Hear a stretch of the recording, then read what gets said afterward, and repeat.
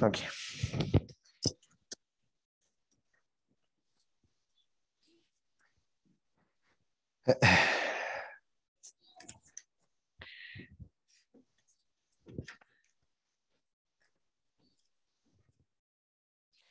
En haciendo un poco un resumen, hemos visto eh, notaciones sintóticas, la notación teta, la notación O, la notación omega, y eh, vimos eh, cuando tenemos cómo analizar un código en realidad, ¿cierto?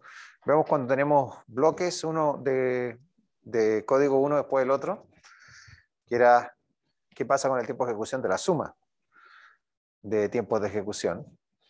¿Y qué pasa con el tiempo de ejecución de los productos? ¿Cierto? Eh, y resolvimos eh, qué pasa cuando una función se llama a sí misma, o un procedimiento se llama a sí mismo, recurrencia. Con esos tres elementos podemos calcular el tiempo de ejecución de un código, ¿cierto? No necesitamos más. Sin embargo, eh, quiero eh, presentar otro, otro método para calcular recurrencias porque es súper potente, eh, nos permite eliminar, o sea, hacerlo rápidamente y, no tener que, estar haciendo el, árbol y muchas veces eso puede ser un poco más engorroso. Aunque en, la mayor parte de los casos el árbol es la solución. Esto es un poquito más restrictivo. Eh, lo que vamos a ver entonces es el, método maestro.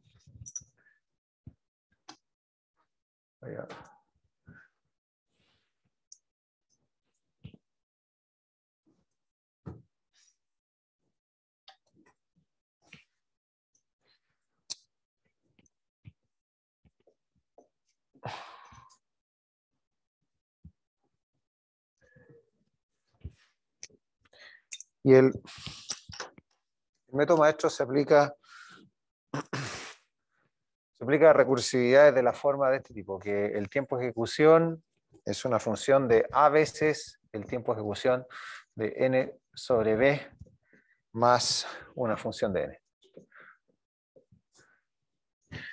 Aquellas, eh, aquellos algoritmos cuyo tiempo de ejecución, cuya recurrencia del tiempo de ejecución puede ser escrita en estos términos, eh, son los que podemos utilizar el método maestro. Y donde la constante A es mayor o igual a 1, B es estrictamente mayor que 1, ¿cierto? Es decir, estamos efectivamente dividiendo eh, y, no, y no estamos amplificando. Eh, y f de n es positiva asintóticamente.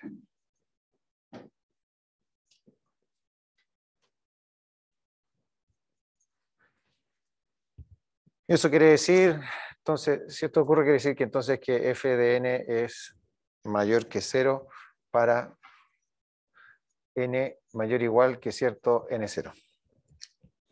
¿Sí? Y ¿En qué consiste este método? Eh, se puede apagar eso, ¿no? Este será, ¿no?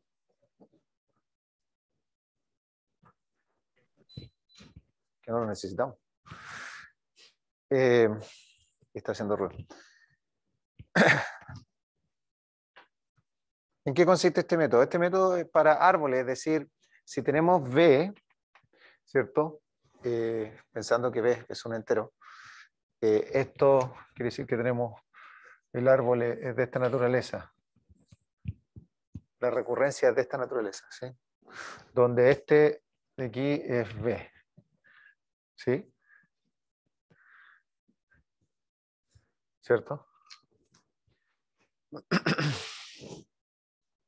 ¿O no? No. Este es A. Me equivoqué.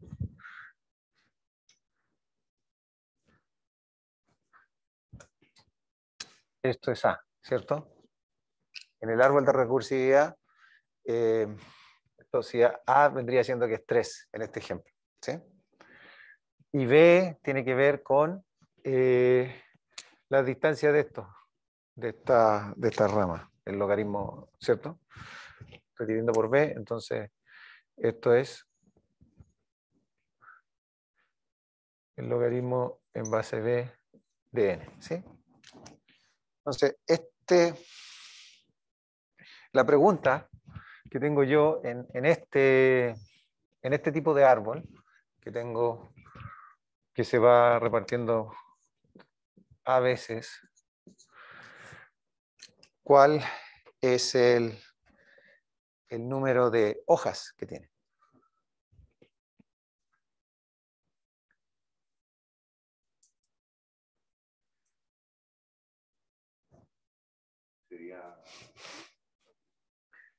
¿Ah?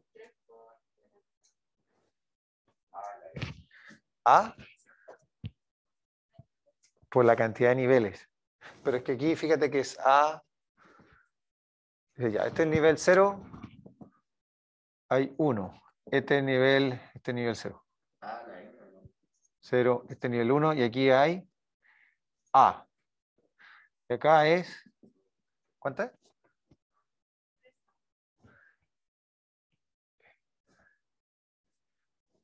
3A, o puede ser A al cubo, ¿no? O, o no, A cuadrado, ¿cierto?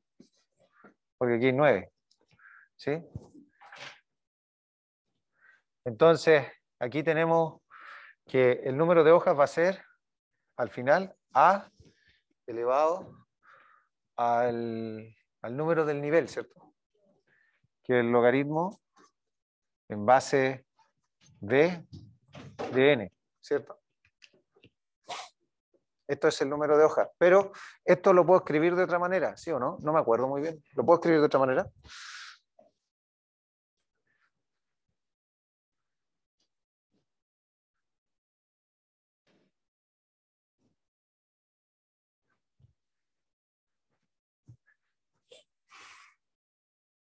¿Qué pasa si yo esto le aplico el logaritmo base n. A ver, ¿qué es lo que ando buscando?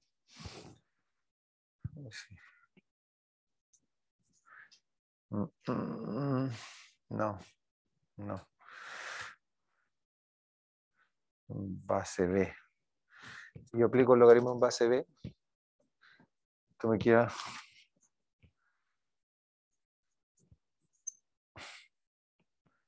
base B de n por, el logaritmo en base a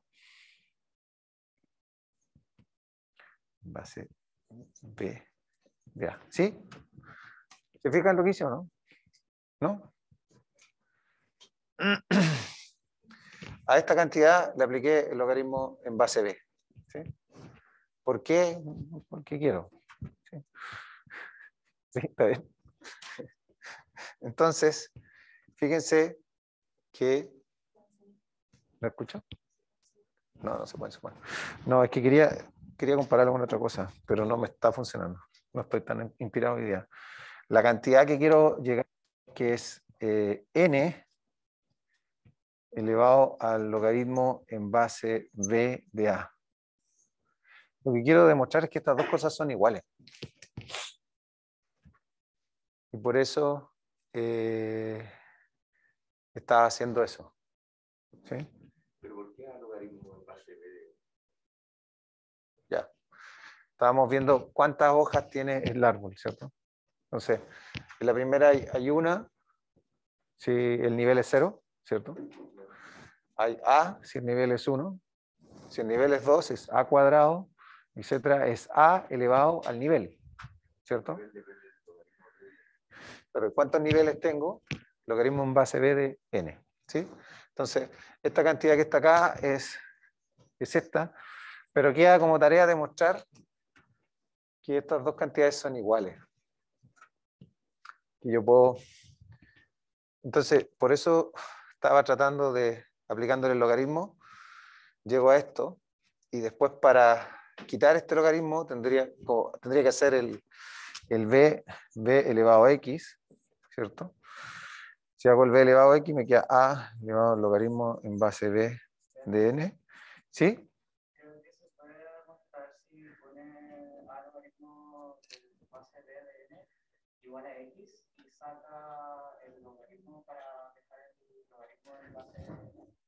Diego, ¿me lo puedes decir más lento? Porque. Eh, o sea, ¿cómo que es viernes? A ver. A logaritmo en base de Eso es igual a un x. Y eso lo, lo desarrolla para despejar. ¿Despejar qué cosa? Eh, para despejar el exponente de a. Que haría como logaritmo en base a de x ya, a ver, entonces, ¿qué hago? Entonces, esto sería que el logaritmo en base b de n es el logaritmo en base a de x, eso. ¿Sí? ¿Cierto? Sí. Y luego tengo que elevar a b. Aquí ya se nos fue. La idea tuya es buena, creo, pero... Eh, y tendría que eh, eh, b elevado a x es aplicar el exponencial en base b y nos queda n igual a b elevado al logaritmo en base a de x. Pero x es toda esta cosita que está aquí y esto es b elevado al logaritmo en base a de a elevado al logaritmo en base b de n. ¿Cierto? Y esto es b elevado al logaritmo en base b de n. No, no es lo que andamos buscando. nos comimos la. Se nos murió la. No, no va por ahí. Eh, si yo hacía esto, ¿qué pasaba con esto de b? Me queda n por el logaritmo en base b de a.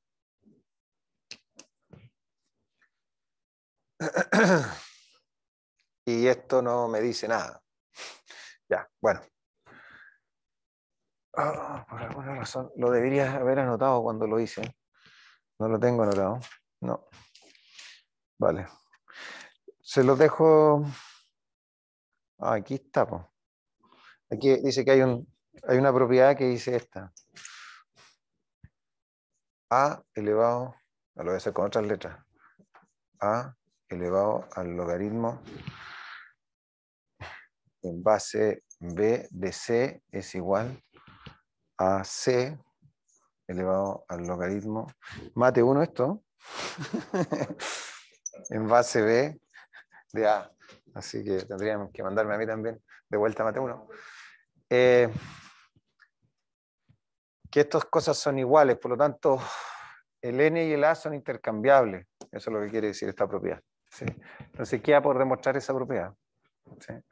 Eh, no recuerdo cómo se hacía. Pero básicamente lo que quiere hacer este método es comparar cómo anda f de n en comparación con el número de hojas que tiene el árbol de recursividad. ¿Tiene sentido?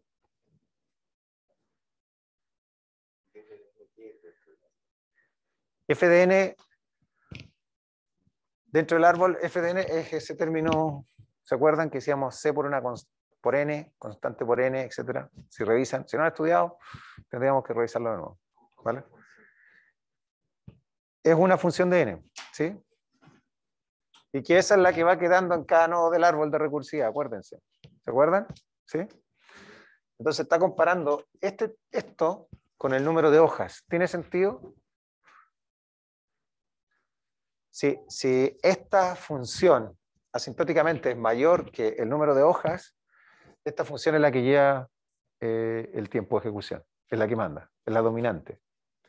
Si el número de hojas, si esa función por, el, por, otro lado es menor que el número de hojas, entonces el número de hojas es el que tiene esa, esa relación.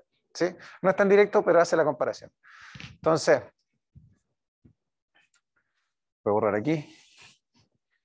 Y compara.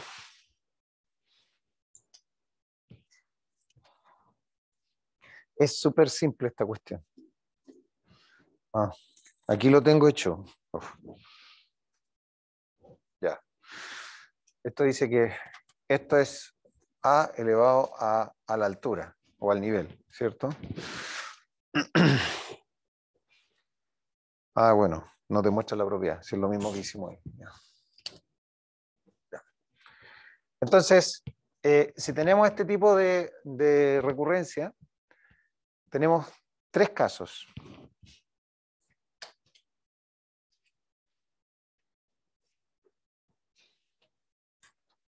El caso 1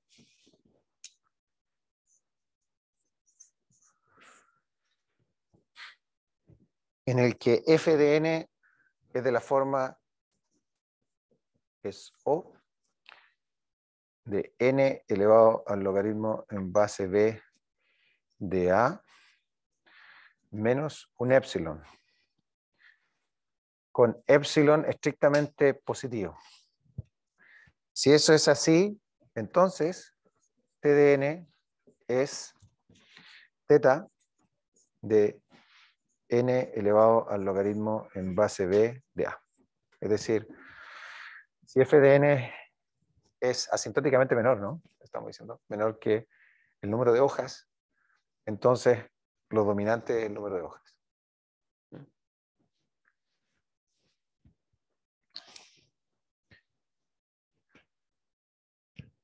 Voy a borrar el árbol. Es el caso 1. Luego tenemos el caso 2.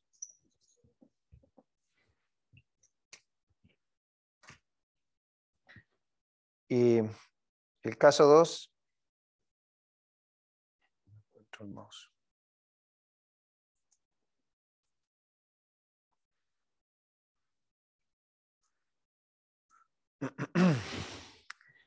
¿Qué dice? Si f de n es teta o eso, teta de n elevado al logaritmo en base b de a por el logaritmo a la k de n con k mayor o igual a cero. Aquí el igual es importante. Entonces, t de n es teta de n elevado al logaritmo base b de a por el logaritmo a la k más 1 de n. ¿Quién preguntó? Perdón. Eh, Ignacio, no. Ignacio pregunta si el logaritmo está en base 10. Respuesta. No importa. ¿Por qué no importa? Más fuerte, Aileen, que no te escucho. Pensando en vuelta. ¿Por qué no importa? ¿Alguien en la casa? Es una pregunta recurrente. La, el profesor, por la que la conversión de base es una constante. Exactamente. Por el teorema de cambio base, la diferencia entre dos logaritmos es una constante. De dos logaritmos de distinta base. Por lo tanto, no nos interesa la base del logaritmo. Muchas gracias. Quien sea que haya respondido en la casa. Bien, entonces, eh, y tenemos por último un caso 3, que es un poquito más elaborado, y que dice si f de n es sigma, perdón, no es sigma, omega, de n elevado al logaritmo en base b de a más un epsilon, con este epsilon mayor que cero, y,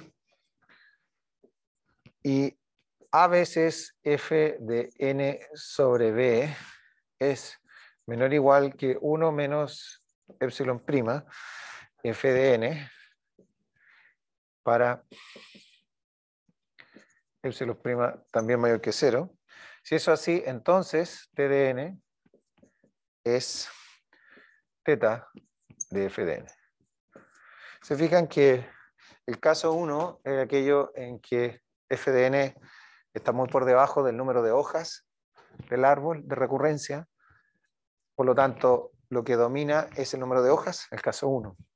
En el caso 3 es, lo contrario, en el cual es el caso, no es decir lo contrario, es el caso en el cual f de n es, va por sobre el número de hojas. Por lo tanto, f de n es, es lo dominante en el caso 3. En el caso 2, digamos, sería donde son comparables f de n con el número de hojas. Exactamente, es dominante. ¿Sí?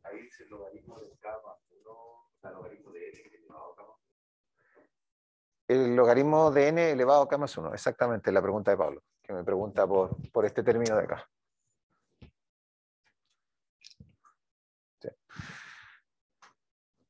Es, veamos cómo se aplica esto, ¿vale?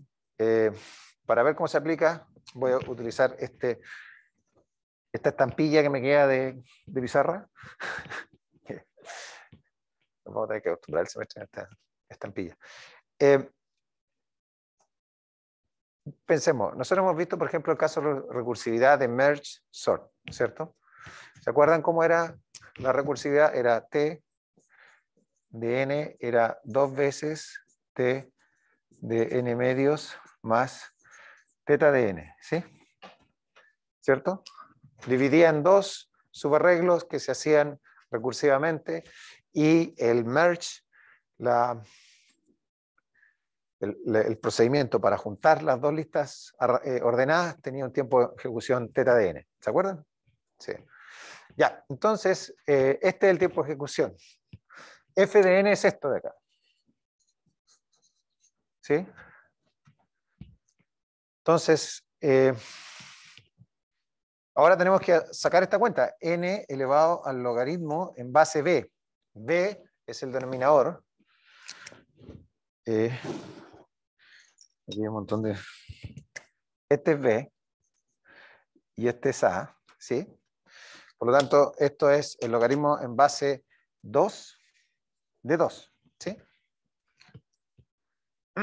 Entonces, esto implica que esto es n. Por, un lado. Y f de n es teta de n. Eh, si vemos el caso 1, por ejemplo, el caso 1 dice que f tiene que ser o de eh, n elevado al logaritmo en base b de a, que eso es 1, ¿sí? menos un epsilon que es estrictamente mayor que 0. O sea, no puede ser 0 ese epsilon. Por lo tanto, el caso 1 no es. Y fíjense ustedes que esta comparación la está haciendo a nivel del exponente. Por lo tanto, ahí cualquier cosa influye. Yo no puedo despreciar. Un epsilon, por pequeño que sea en el exponente, influye. ¿Sí? Así que no es el caso 1. Veamos el caso 2. Caso 2, allá arriba dice que tiene que ser nuevamente teta de n elevado al logaritmo de base b de a, que es 1, por un logaritmo a la k de n, ¿cierto? Pero fíjense que este k puede ser 0 admite que sea cero. Entonces, si admite que sea cero, nuestro FDN teta de n funciona, ¿cierto? Con k igual cero. Entonces, esto es caso 1 con k exactamente igual a cero. ¿Sí? Luego, si vemos el caso 1, T de n entonces es teta de n por el logaritmo a la k más 1, entonces log n. Resuelto. ¿Cierto?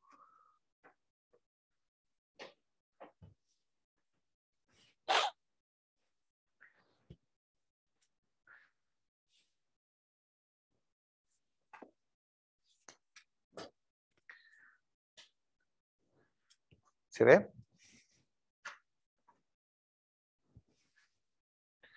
Veamos otro ejemplo.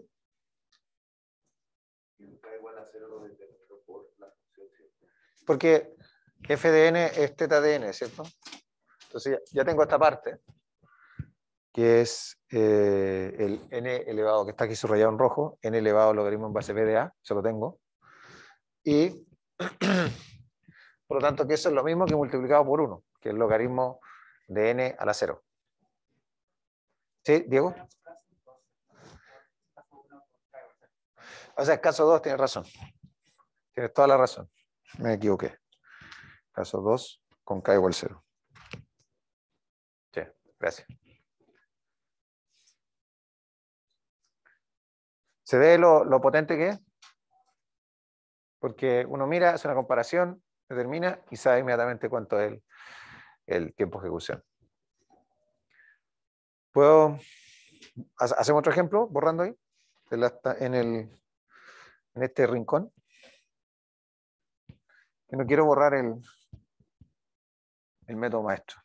Si ustedes revisan el libro guía, eh, aparece una forma distinta. De hecho, hay uno de los ejercicios propuestos que está puesto de esta forma. A mí me parece esta forma más, más fácil de entender.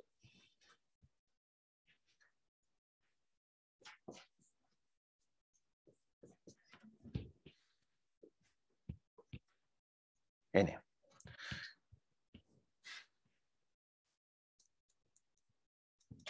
Ya, veamos entonces. Eh, dijimos entonces que este es A y este es B. ¿Sí? Y entonces queda n elevado al logaritmo en base b de a es igual a n elevado al logaritmo en base 2 de 4. Y esto es igual a n cuadrado. ¿Sí?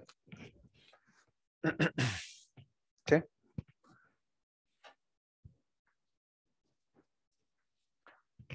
Y ahora empezamos a comparar, veamos el caso 1. ¿Sí? Que si f de n es O de n al cuadrado menos un epsilon. ¿Sí o no?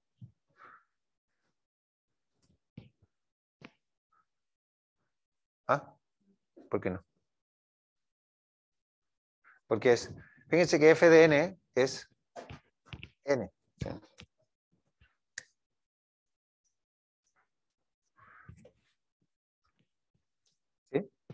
Entonces, aquí tenemos n cuadrado, que es esto de aquí, n cuadrado, n cuadrado. ¿Sí? Entonces, menos un epsilon positivo, un número mayor que cero. Por lo tanto, si esto es 2 y f de n tiene n elevado a 1, yo le resto 1 con epsilon igual a 1, funciona. ¿Sí o no?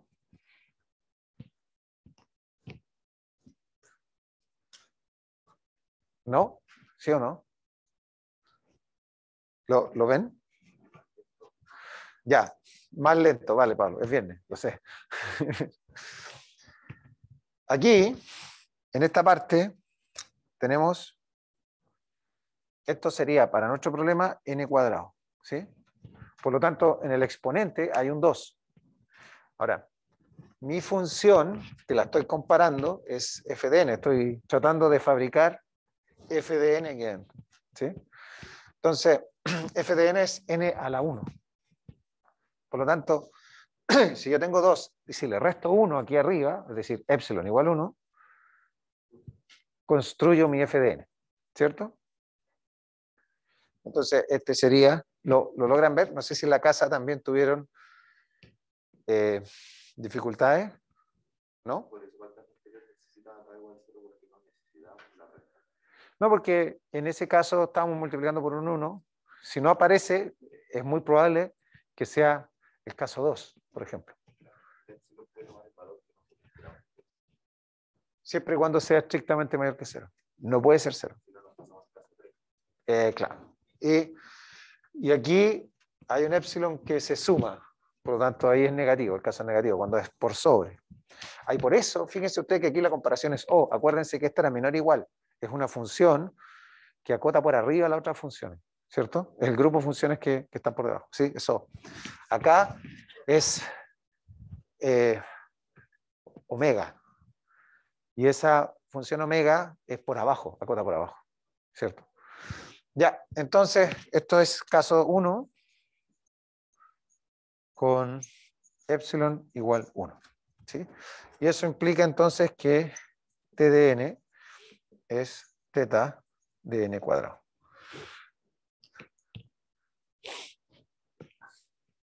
Y resuelto.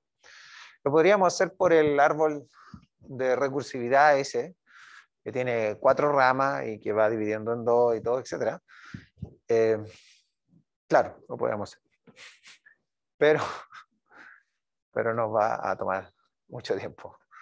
No, tampoco, tal vez no tanto, pero bueno. Sí, habría que borrar. Eh, ¿Lo quieren verificar o no? ¿Sí? ¿Con el árbol? Borro el método maestro. Borro el método maestro. Ya.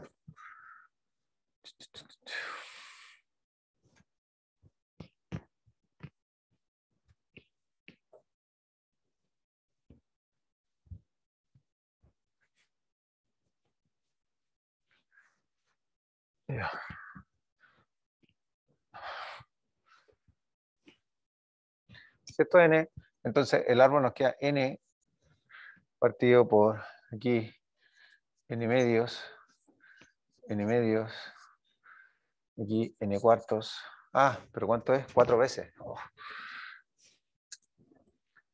Esto no es muy, no es muy inteligente este,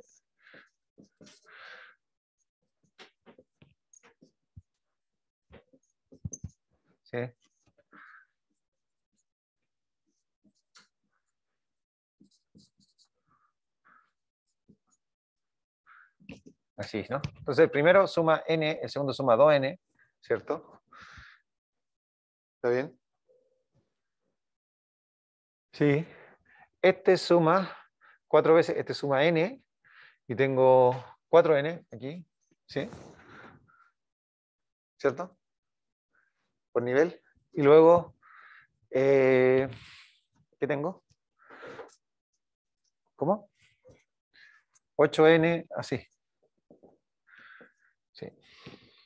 Entonces, esto, y acá, ¿sí? Esto es la sumatoria desde i igual 0 a al logaritmo en base 2 de n. ¿De qué cosa? De, i por n. 2, 4, 8. ¿Está bien o no? ¿Está bien esto, no? ¿No i por n? O... No, no es i por n. Es, si este es el nivel 0, es 2 eh, eh, a la i por n. Ahí sí. ¿Está bien? Ya, entonces tenemos esta.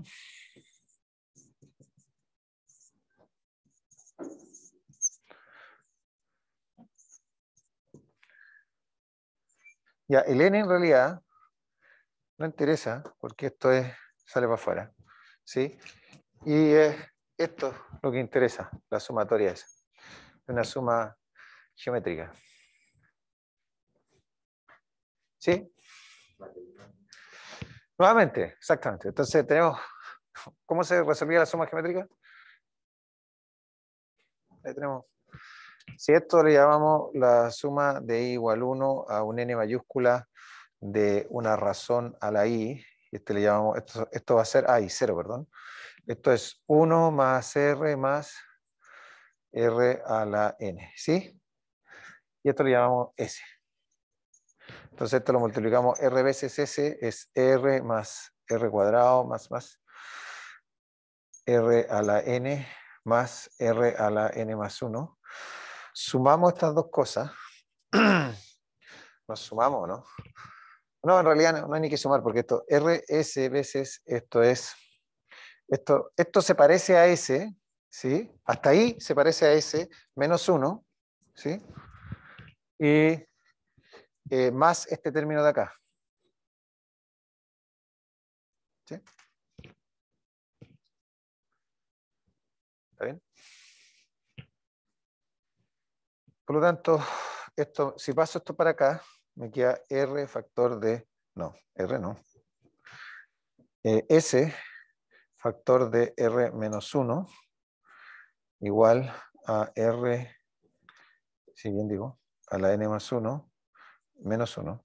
Entonces, yo no sé si esto se ve aquí.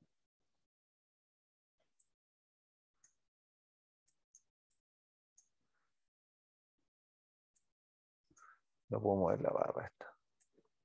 Ah, porque no estoy como corresponde. Ya. Ese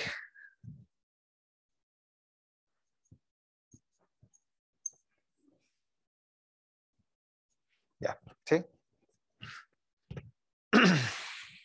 Este, este es 2.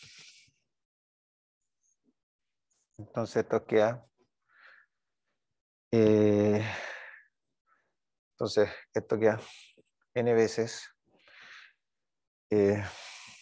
2 eh, elevado al logaritmo en base 2 de n, ¿sí? Eh, un menos 1 aquí, y partido por 1, ¿sí? Y, y 2 elevado al logaritmo en base 2 de n, esto por ese, por ese teorema que no hemos demostrado, era n elevado a n logaritmo en base 2 de 2, ¿sí? Menos 1. ¿Sí? ¿Está bien? No me creen nada. Me tiene una cara de escéptico así, como que en dos semanas hay elecciones. Eh, Sí, entonces, sí, hay gente está de acuerdo con Pablo, la semana estuvo letal. Pero ánimo, ya es viernes. La vida comienza. Entonces, y esto es 1, por lo tanto, n cuadrado menos 1. ¿sí? Y esto, entonces, esto es el tiempo de teta de n cuadrado. ¿sí? Más clarísimo. ¿No? ¿Están de acuerdo? Lo, ven, ¿verdad? Sí, lo ven, lo entienden, la pregunta, digamos. A ver, repasemos lo que hicimos. ¿No? ¿Fue muy rápido? A ver, esto dije es la suma geométrica y no me sé la fórmula.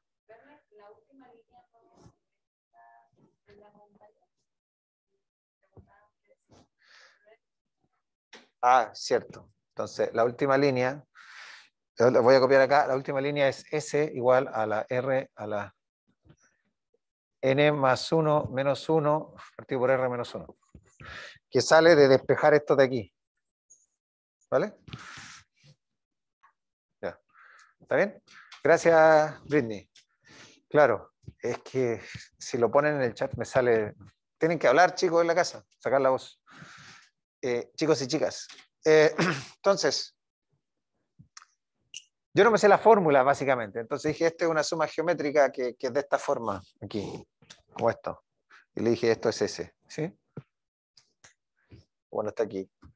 Eh, y, cómo se ve esto? Es 1 más R hasta, hasta R a la N, ¿sí? No tiene nada. Luego multipliqué R veces la suma, y me queda R más R cuadrado, R a la N, más R a la N más 1. Esto, si uno lo observa, esta parte de aquí, en rojo, es S menos 1. ¿Sí? Porque no está el 1. S menos 1. Y para que sea RS igual hay que sumarle esto que está acá de más, que es eh, el término R la n más 1. Y ya, hecho eso, esto, aquí está la fórmula lista. ¿Sí? Y ahí puedo despejar ese. Y eso fue todo lo que hice. Ya, perfecto. Cuando llegue a ese R, la razón de mi suma geométrica es 2, ¿cierto? Por lo tanto, el denominador no me interesa. Y, y, si fuera un número distinto de 1, tampoco me interesa porque es una constante, ¿cierto? Aquí estamos trabajando con notación asintótica, así que no me interesa. Eh, bajo cualquier caso, R menos 1 no me interesa. Y luego queda R a la n más 1. Ah, me comí el 1 aquí. Ah, sí. ¿Cierto? Eh, esto está mal, por eso no se entiende. ¿Cierto? ¿Cierto? Esto es, el R es 2 elevado al logaritmo en base 2 de n más 1, esto, esto me lo comí, ¿cierto? Menos 1 partido por 1, ¿cierto? Y todo esto está multiplicado por n, ¿cierto? Así que aquí hay un n que multiplica. Esto, esto me, me faltó así. ¿Sí? ¿Cierto? ¿Qué uno? ¿Este? No. Está fuera del logaritmo. Sí, pues, está fuera del logaritmo. Está fuera del logaritmo, entonces, pero, pero me importa eso, ¿no? No. ¿Por qué? ¿Por qué? Porque esto queda dos veces, 2, logaritmo en base 2 de n menos 1 por n. ¿Sí?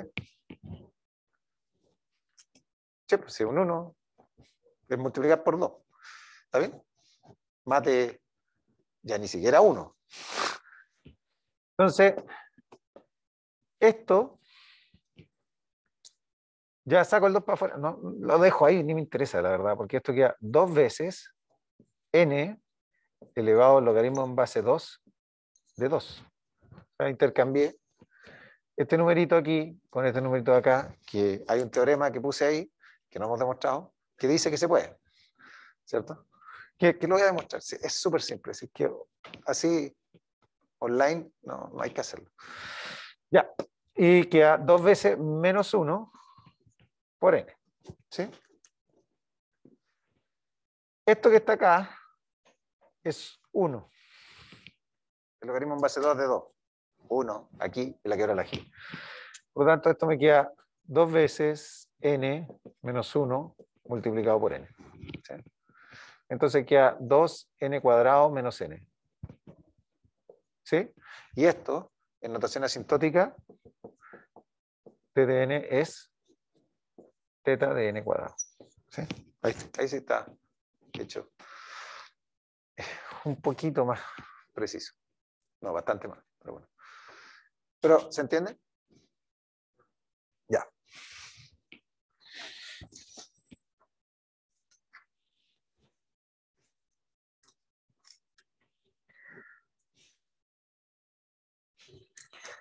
Bien, nos quedan 22 minutos para comenzar un área la única parte del curso en la que nosotros eh,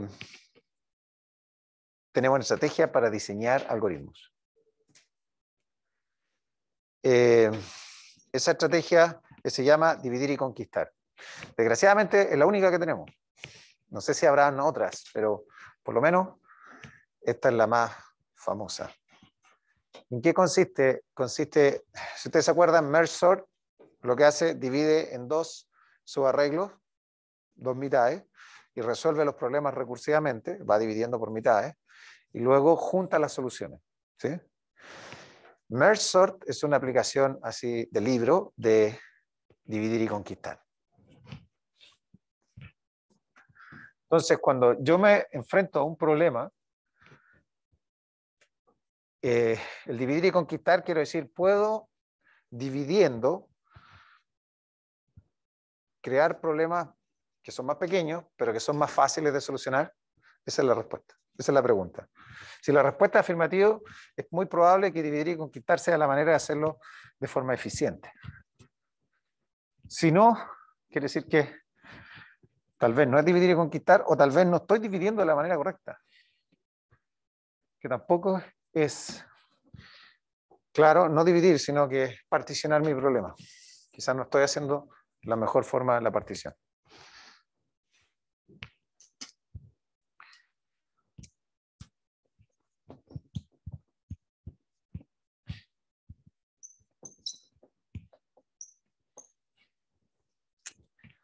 Entonces, uno es dividir. Ah, y esto viene de dónde dividir y conquistar. Esto es antiguo, no es una idea nueva. ¿Ah? Maquiavelo, no, es previo, es previo a Maquiavelo. Esto viene de los romanos, Julio César. Divide et impera.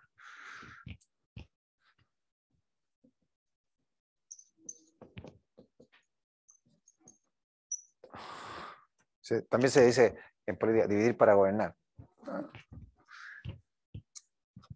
Dividir el problema en subproblemas pequeños.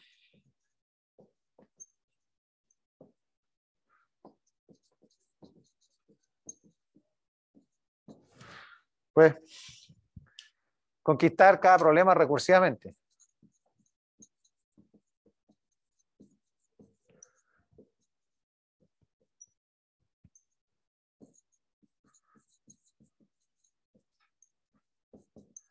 Tres.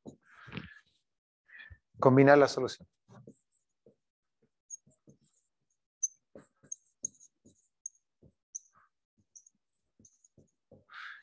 Bueno, esta metodología se utiliza, por ejemplo, en, Big Data, en lo que le llaman el paradigma Map-Reduce, que es, consiste en dividir, si tengo muchísimos datos, lo divido en procesadores muchos procesadores, eso es lo que se llama mapear. Los dejo trabajando en paralelo y después reduce es combinar las soluciones independientes. si usted estudia en Hadoop, Spark o cosas así de grandes datos, lo que están utilizando ahí, lo que le llaman map reduce, wow, es una cosa muy nueva, muy maravillosa. No, se le ocurrió a Julio César. Y es dividir y conquistar. Como les decía, el ejemplo es merge sort, pero podríamos hacer otro, otro ejemplo, porque ya tenemos eh, otro ejemplo. Podría ser búsqueda binaria. Vamos a ver.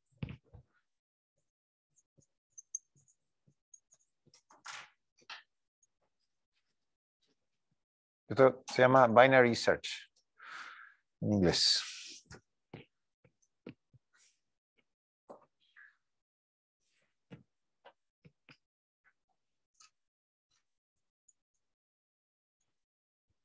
Que se abrevia BS.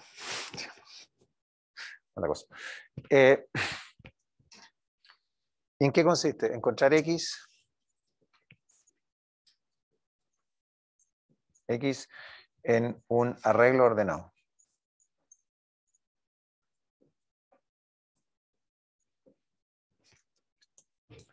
¿Sí?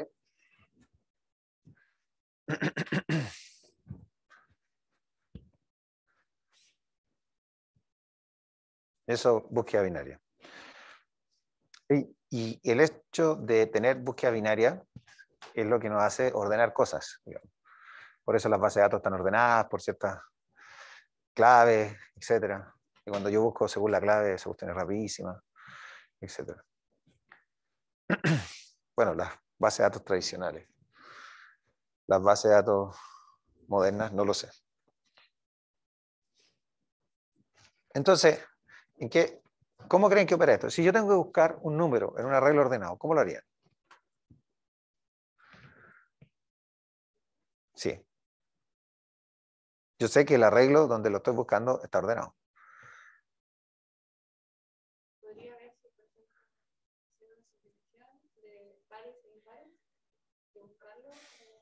Pares e impares, pero eso tengo que recorrer todo el arreglo. Mm. Está ordenado. ¿Cómo, Diego? Iterando, ¿cómo itero? Voy de for i igual 1 a n. Si se pasa, si se pasa, eh, la, idea de Diego es iterando, un for de i hasta, y, ir viendo hasta el valor, y si, se, y si el número que aparece es más grande, paro. Y quiere decir que, en ese caso, quiere decir que no está el elemento, ¿cierto? ¿Cuál es el peor caso de tu solución, Diego? Hasta el final, ¿cierto? Que mi número que busco más grande que el más grande almacenado en el arreglo, porque no lo sé, puede ser. Si es así, va a preguntar hasta el último, pum, y se va a salir. ¿sí? Entonces, tiempo de ejecución.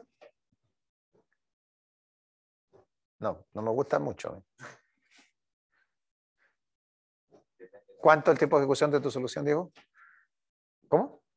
N. Es tiempo lineal. N. Eso, eso sí me gusta. Eso es preciso. ¿Mucho? ¿Qué es mucho?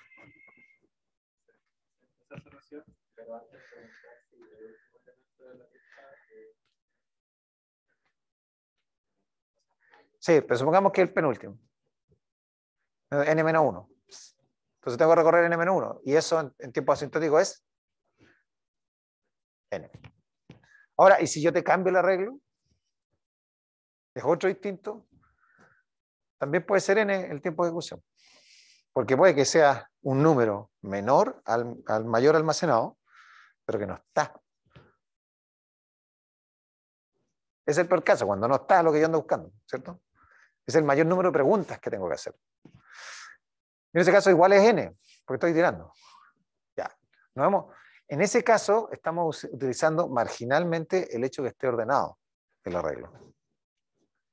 ¿Cómo le sacamos más provecho a ese hecho? Que el arreglo está ordenado.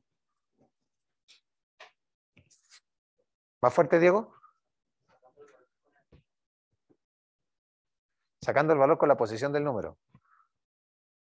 O sea, eso es lo que quiero saber dónde está. Es lo que ando buscando en el fondo. Está y está en esta posición.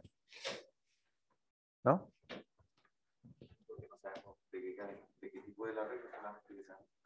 Sabemos que está ordenado, lo único que sabemos.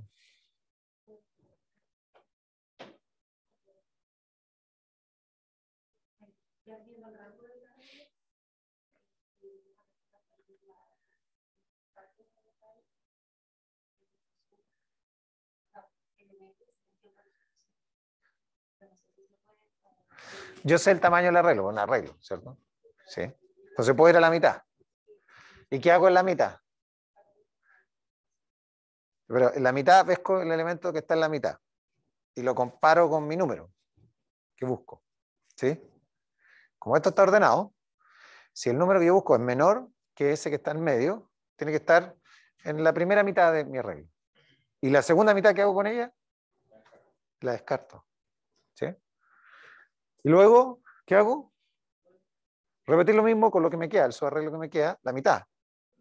Comparo, ¿cierto? Y veo en qué lado está, potencialmente, ¿cierto? Y descarto en el que sé que no está, ¿cierto?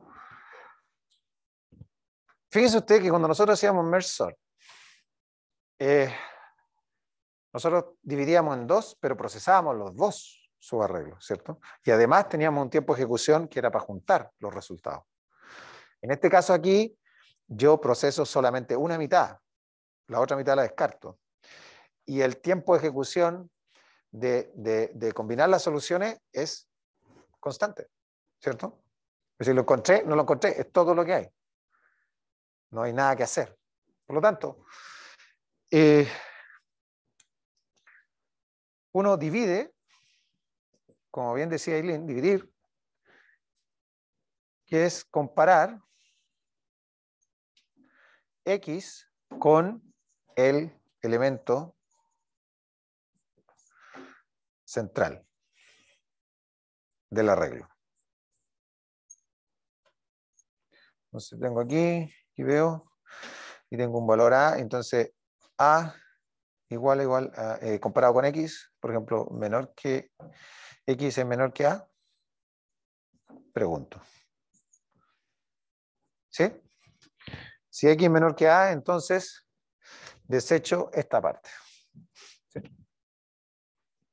Descarto esa parte del arreglo. ¿Qué dice ahí? Me van a preguntar. Estoy diciendo. Descarto. Si esto es verdadero, enseguida. Descarto esta mitad. ¿Sí? ¿Cuál es la pregunta? ¿O el comentario? ¿La observación? Dividir en más secciones. Eh, tengo que preguntar más veces.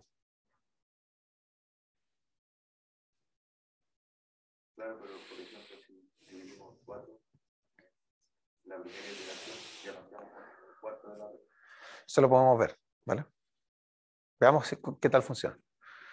Puede ser eh, una opción. Sí, no sé. Veamos cómo funciona. Ya, y luego conquistar.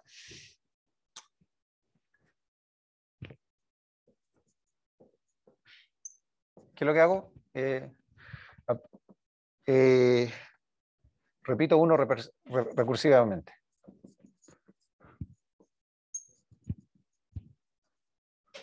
Y el 3 combinar es trivial.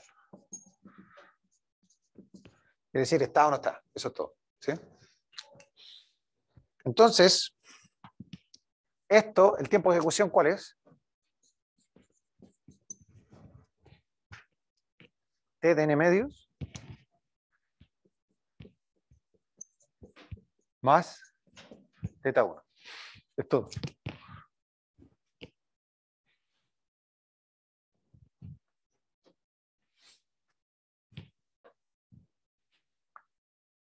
Entonces,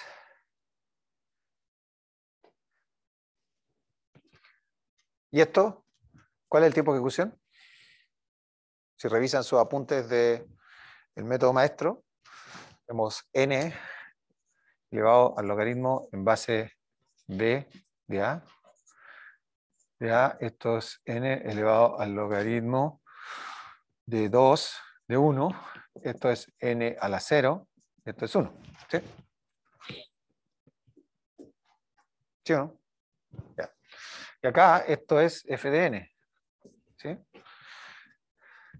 Y f de n entonces es, es 1, por lo tanto no puede ser el caso 1, porque epsilon tenía que ser mayor que 0, estricto. Por lo tanto puede ser el caso 2. Entonces, si k igual 0, cumple con el caso 2. Es decir, que t de n sería entonces teta log n. ¿Sí?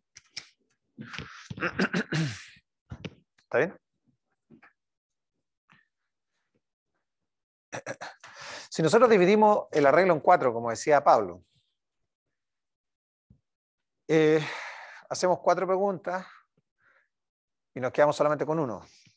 ¿Cuál es el tiempo de ejecución de eso? Es t de n igual t de n cuartos más teta 1, ¿cierto? Eso es. Por lo tanto, es esto sería el logaritmo en base 4 de 1, que es 0. Igual. Y sería igual el caso 2, y sería 0. O sea, perdón, eh, tiempo logarítmico. ¿Sí?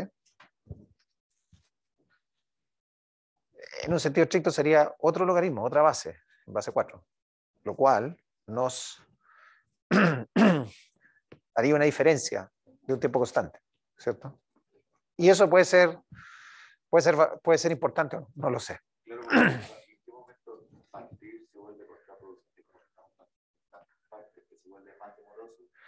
Lo que pasa es que depende de cuántas veces proceso. ¿Te fijas? Aquí partir más veces no es contraproducente. No lo es. Es el mismo tiempo de ejecución eh, asintóticamente hablando. ¿Cierto? Desde la perspectiva de tiempo de ejecución asintótico es igual. Por-. Sí, lo que pasa es que va a haber una diferencia constante de tiempo entre una técnica y otra. Y ese tiempo constante puede ser importante o no, depende de la aplicación, ¿vale? O sea, estas cosas son verdades matemáticas, pero en la práctica, eh, las matemáticas nos dicen la idea, pero en la práctica esa constante de diferencia puede ser eh, relevante. ¿Cuándo se produce, la pregunta de Pablo es, ¿cuándo es contraproducente dividir? Pues no lo sé, pero el tema, ¿cuándo es contraproducente multiplicar? Por ejemplo, aquí nosotros tomamos la mitad y descartamos la otra. Es extremadamente eficiente. ¿Cierto? Pues estamos utilizando solamente una mitad. Estamos descartando la otra. Cada vez que nosotros hacemos eso, somos capaces de, de descartar una fracción de mi entrada, el algoritmo es muy eficiente. ¿Sí? Cuando yo proceso las dos entradas, ahí depende. ¿cierto? Si fuera A igual 2 y todavía un tiempo constante para combinar las soluciones, por alguna razón voy procesando los dos arreglos. Sería otro algoritmo, no este, ¿vale? Si A es igual 2, va a depender de cómo se comporta teta, o sea, f de n. Si f de n es n, eso es n log n. Pero si f de n es constante, ¿qué creen ustedes? Si f de n es constante, lo voy a hacer en negro, sería... ¿Perdón? Cuando teta de uno no significa que este ya es constante. Eso es tiempo constante. Teta de 1 es tiempo constante. Lo hemos definido así.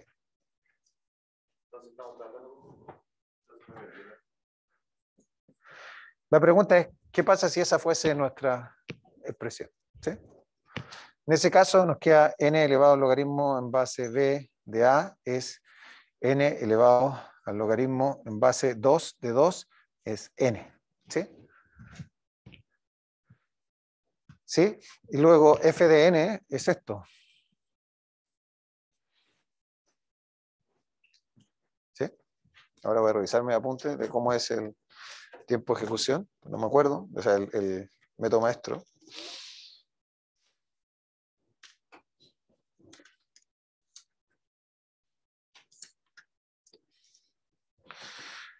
Entonces, esto es 1 y esto es 0. Entonces, puede ser el caso 1.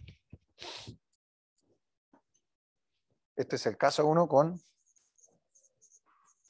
con epsilon igual 1. ¿Sí? Y eso significa entonces que t de n es teta eh. Eso. Es lineal.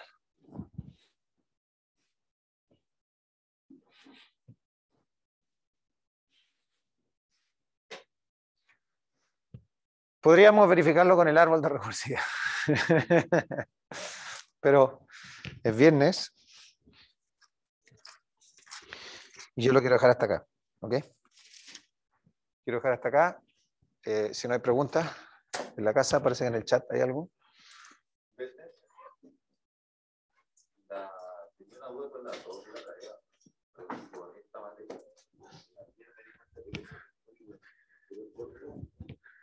se demora más que la otra. ¿Se demora más que qué? Eh, la primera pregunta, el código es más largo. Sí. El código de la segunda tiene como 40 líneas. Sin embargo, se demora más porque depende del largo de la foto sea inicial. Sí. Sí. Claro, incluso después cambiamos de foto y se demoraba, tenía distintos tiempos. Y hay una foto Claro, Claro, porque es una imagen en texto, no tiene compresión. Es, por, es por la, por, porque es una matriz de, no sé, un arreglo de 12.000 datos. Sí, de mete- por, por la resolución que tiene. Entonces ahí tiene, es por el- la cantidad de píxeles que tiene esa. Entonces se me ocurrió en pantalla y me fui a almorzar. Cuando volví, seguía mostrando. El despliegue por pantalla es muy lento. Es muy lento. Entonces, hay cosas que son lentas, escribir en pantalla, muy lento. Otra cosa que es lenta también es escribir en el, en el disco duro. Entonces, eso se tiene que hacer por lotes. Si yo cada dato, dato que proceso lo escribo en el disco duro, eso se demora una vida. Entonces, procesarlo en memoria la mayor cantidad posible y escribir en el disco duro una vez para guardar. Eh,